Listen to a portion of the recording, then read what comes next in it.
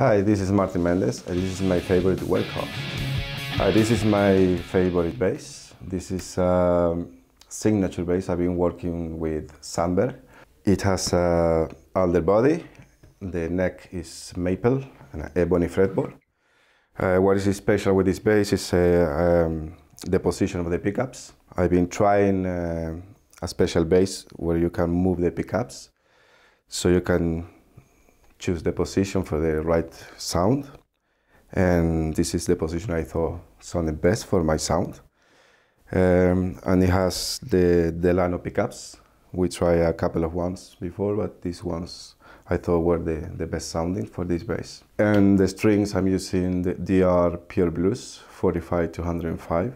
Really nice strings, um, keep tuning perfectly. It feels like uh, when you put them on, and it feels like you've been playing them for a couple of hours, which is, really nice. It's the kind of feeling I like on the strings. I don't like the brightness from the new ones. Yeah, so check it out.